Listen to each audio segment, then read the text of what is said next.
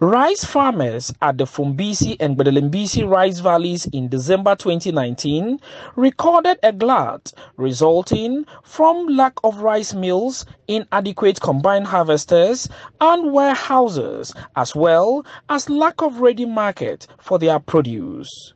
The situation compelled government to help secure buyers to mop up the produce that was going bad on the fields and assured rice farmers within the valleys of government commitment to addressing post-harvest losses in the 2020 farming season. Even though the valleys have a potential capacity of 4,700 hectares, only 1,500 hectares were cultivated in the 2019 farming season.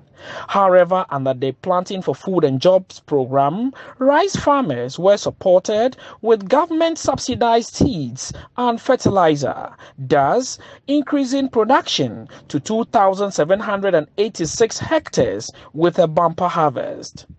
While government has constructed warehouses in both Builsa South and Builsa North districts, they are yet to be commissioned for use, and access roads to the only rice solar milling machine in Fumbisi and the rice fields are unmotorable.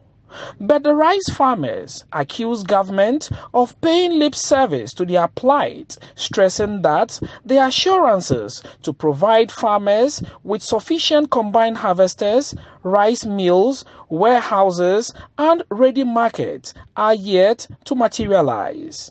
Some of the rice farmers who were harvesting bemoaned the situation and called on government to urgently come to their aid.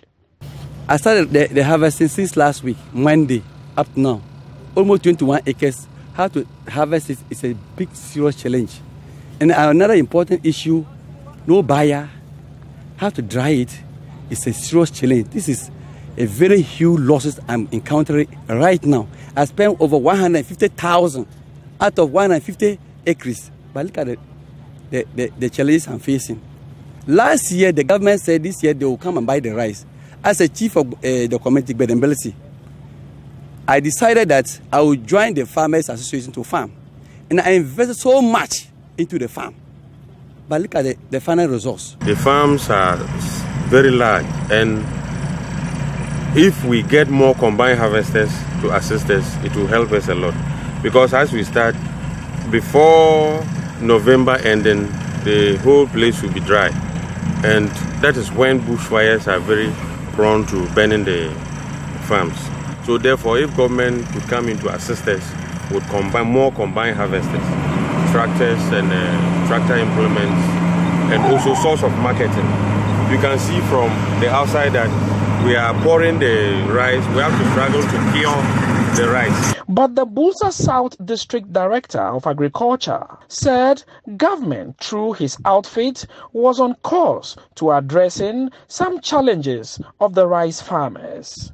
We, as a department, will be able to register some number of uh, uh, aggregators, and already some of them have even, as as last week, some even came to the district for us to start preparing them to see how possible best they can get. Uh, their produce from the farmers, the farmers to can sell their produce.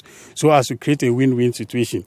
As a matter of fact, today, as I'm saying, we plan to meet all the commercial farm, farmers, that's Buskufa, Builsa South, uh, uh, Builsa South Commercial Farmers Association, to, de- to, de- to determine which price will we sell to the, uh, uh, the aggregators, the buyers, and the buyers will tell us how much they will buy.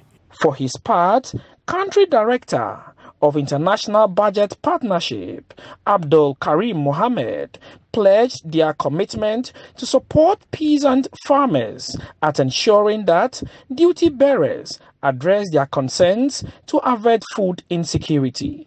As we are speaking now, you can see that the rice is near maturity, it's almost mature. They have started harvesting. But machinery to support them in harvesting the crops, the machinery to support them in evacuating it from here, and the warehousing facilities are all in short supply. And this is where we come in um, to help them advocate and, and let the decision makers uh, hear their plight and also uh, mobilize the relevant resources to support them um, in, in getting the needed support so, so that we, we all have food to eat. And, and their effort that they have invested in, in production does not also go waste. Rice farmers here are appealing urgently for combined harvesters, ready market for their farm produce as some go bad on the fields, and also construction of drying platforms to dry their farm produce. Reporting for Citi News, I am Frederick Awuni, Gbedemblisi.